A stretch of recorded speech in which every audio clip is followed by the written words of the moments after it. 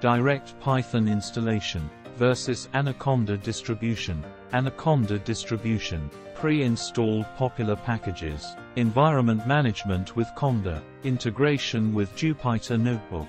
Cross-platform compatibility. Direct Python installation. Only Python interpreter and standard library.